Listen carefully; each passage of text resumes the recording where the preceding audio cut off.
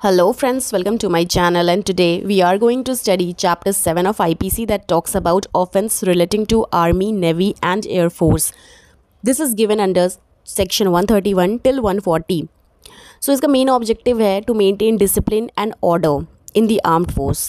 कुछ special laws भी हैं इसके तहत that is army act 1950 army act 1934 or Indian army sorry Indian air force act 1950 तो इस पूरे चैप्टर को चार पॉइंट्स के तहत समझेंगे। पहला म्यूटनी मतलब रिवॉल्ट करना किसी ऑपोजिट पार्टी के ऑपोजिट पार्टी के लिए, एक ग्रुप बनाकर असोल्ट कुछ हार्म प्रोड्यूस करना हिट करने की कोशिश करना, या करना असॉल्ट चोट पहुंचाना। Desertion that is abandon desertion का मतलब किसी को अबैंडन कर देना, बेदखल। इनसबॉर्डिनेट मतलब डिसोबे द लॉ ऑर्डर तो ये सारी सेक्शंस हम अभी कवर अप करने वाले हैं तो आइए बिना देरी के शुरू करते हैं। म्यूटनी तो दोस्तों सबसे पहले हम पढ़ लेते हैं सेक्शन 131 अब बेटिंग म्यूटनी और attempting to seduce a soldier sailor और एयरमैन फ्रॉम हिज ड्यूटी आप किसी को अबेट कर रहे हो। म्यूटनी मतलब एक एक आदमी बहुत सारे लोगों को उकसाने की कोशिश कर रहा है। मतलब अबेट करने की कोशिश कर रहा है। किसको करने की कोशिश कर रहा है? सोल्जर, सेलर और एयरमैन फ्रॉम इस ड्यूटी, उनकी ड्यूटीज़ उनको भड़काने की कोशिश कर रहा है कुछ अपने मकसद का काम करने के लिए।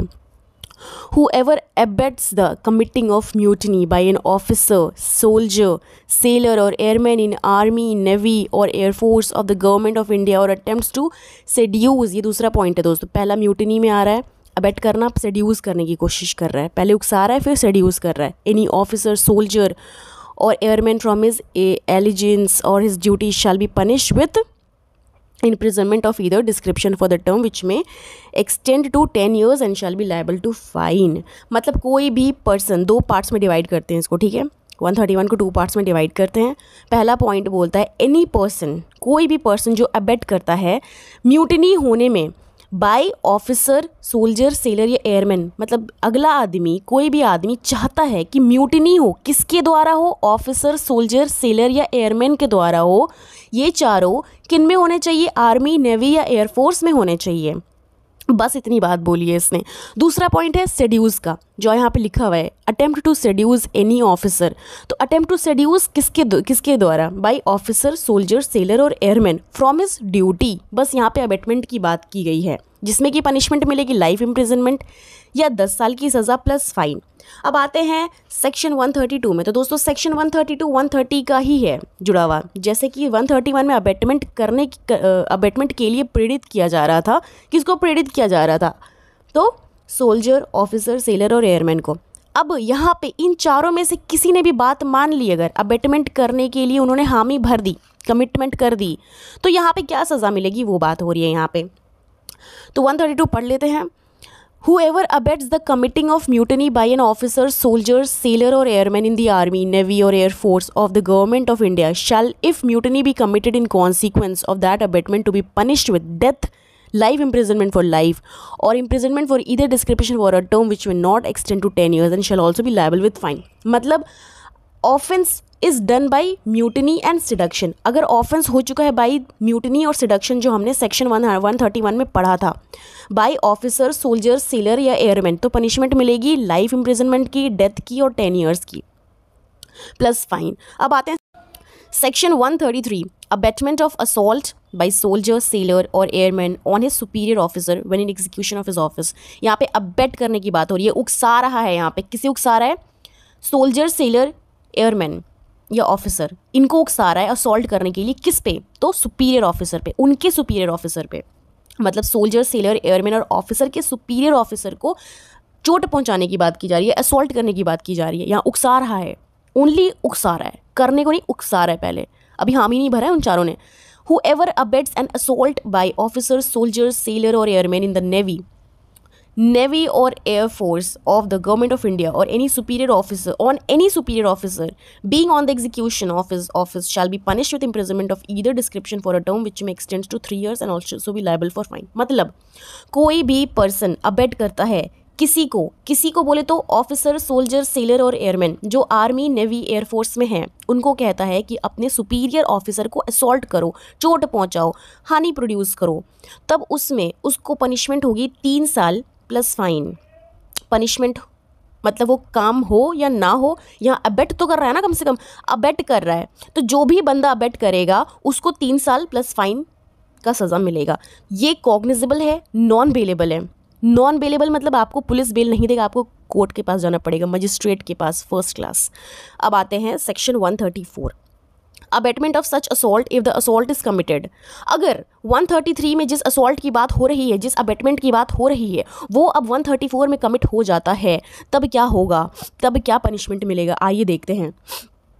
Whoever abets an assault by an officer soldier sailor और airman in the army navy और air force of the government of India on any superior officer being in the execution of is office shall if such assault be committed in consequence of that abetment be punished with imprisonment of either description of the term which may extend to seven years. इसमें कुछ नहीं पढ़ना है। सिर्फ़ क्या पढ़ना है कि जो भी असॉल्ट की बात अबेटमेंट की बात उकसाने की बात 133 में हो रही थी वो चीज़ साक्षात हो चुकी है। वो अपने लाइक like, उकसाने में कामयाब हो चुके हैं। तो यहाँ पे देखिए असॉल्ट कमिट हो चुका है अबेटमेंट कंप्लीट हो चुका है पर्सन शैल बी पनिश्ड अब यहाँ पर्सन को पनिशमेंट मिलेगी जिसने उकसाया है। सात साल की प्लस फाइन ये नॉन कॉग्निजेबल है नॉन बेलेबल है और मजिस्ट्रेट फ़र्स्ट क्लास के पास जाएँगे ये लेके अपना सारा का सारा बेल कि मुझे बेल दे दो। अब आइए सेक्शन 135 पढ़ते हैं जो बात करता है डिसर्शन की। डिसर्शन मतलब अबैंडन करना। तो पहले पढ़ लेते हैं। Abetment of desertion of soldier sailor और airman whoever abets the desertion of any officer soldier sailor or airman in the army navy or air force of the government of india shall be punished with imprisonment of either description for a term which may extend to two years or with fine or with both. कोई भी person जो abate करता है abate कर रहे हैं यहाँ पे डिसर्शन के लिए, किसके लिए? डिसर्शन के लिए of desertion of army soldier officer या एयरमैन जो नेवी आर्मी या एयरफोर्स में है, अगर उनके लिए ये अबेटमेंट करता अबेट करता है उनको, किसी को, और तब उसके लिए उसको पनिशमेंट मिलेगी दो साल प्लस फाइन या बोथ मतलब कोई पर्सन जो अबेट करता है, उकसाता है, ये कहता है कि डिसर्शन होना चाहिए। किसका डिसर्शन होना चाहिए? मतलब अबैंडन होना चाहिए। आर्मी सोल्जर ऑफिसर या एयरमैन जो कि नेवी आर्मी एयरफोर्स में है। वो पर्सन अबेट करने की कोशिश करता है कि उनको अबैंडन कर दो। तो पनिशमेंट होगी दो साल, या फाइन या फिर दोनों ही साथ में।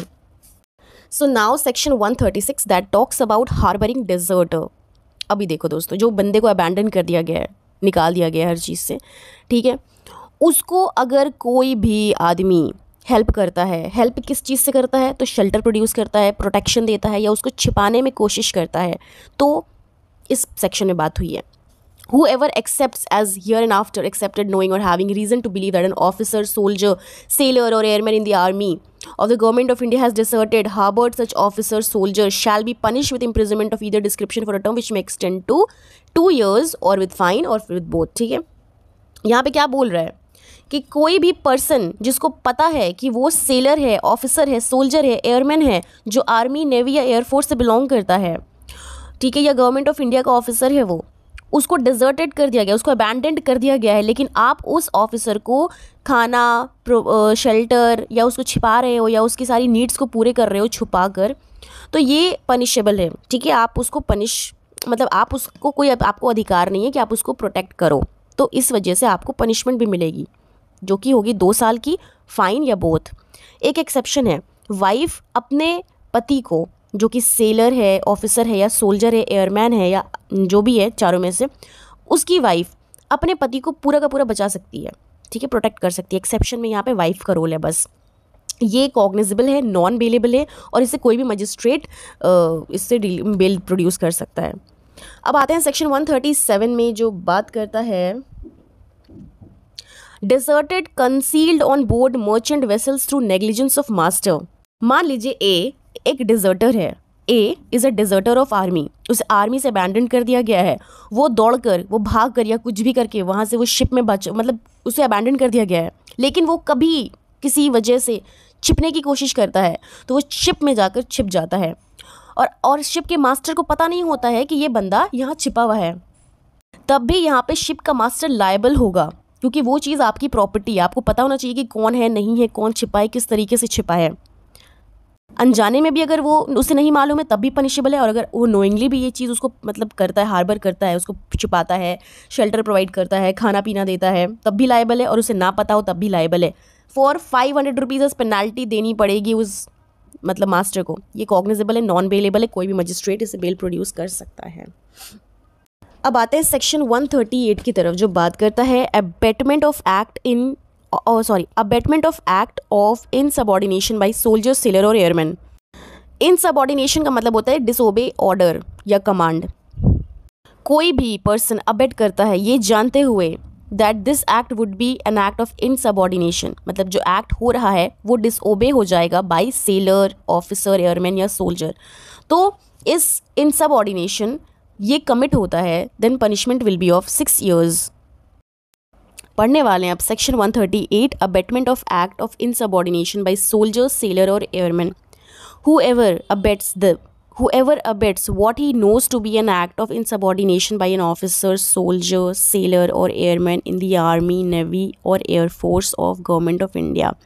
मतलब कोई भी अगर अबेट करता है और उसको पता होता है कि जो वो अबेट कर रहा है वो अगेंस्ट द रूल है। मतलब वो डिस डिसओबे ऑर्डर करने कह रहा है कमांड को डिसओबे करने बोल रहा है, किसके द्वारा? बाय ऑफिसर सोल्जर सेलर या एयरमैन जो कि आर्मी नेवी या एयरफोर्स में है।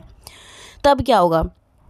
If such act of insubordination be committed in consequence of that abetment अगर इन चारों में से मतलब सेलर ऑफिसर एयरमैन और सोल्जर इन चारों में से कोई अबेटमेंट अबेटर की बात मान लेता है और उसको अबेट कर देता है तो यहाँ पे ही will be punish with imprisonment of either description of a term which may extend to six months और विथ फाइन और विथ बोथ यहाँ पे किसको पनिशमेंट मिलेगी?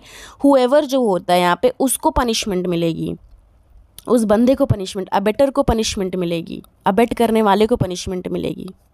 सेक्शन 139 हाँ तो वन थर्टी एट में छः महीने की पनिशमेंट मिलती है। ये कॉग्निजेबल है बेलेबल है। आपको बेल आसानी से मिल जाएगी।